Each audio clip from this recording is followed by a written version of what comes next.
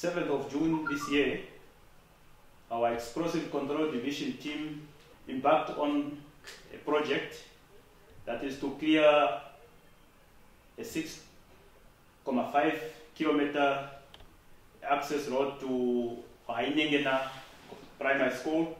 On their first day, they discover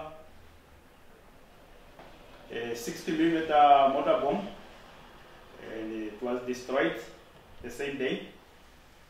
And on the 5th of July, they uh, discover a mine, which is a TM57 um, exploded ordnance uh, not far from the school. Uh, it was destroyed. According to the public and the community around the area is to be watchful of any suspicious object that they may come upon to report such object to the police can be safely removed.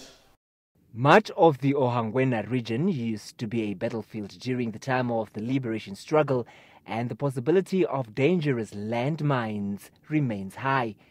Deputy Commissioner Amakali says demining is costly. He called on the community to be vigilant and report any suspicious object which they may come across.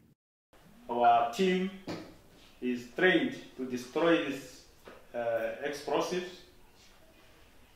Uh, it can be done on site or it can be removed.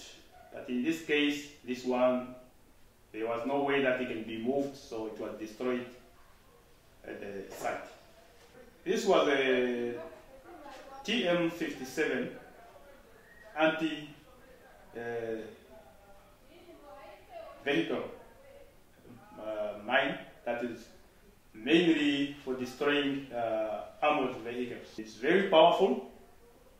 Uh, if it explodes, it will cause injuries and damages to properties around.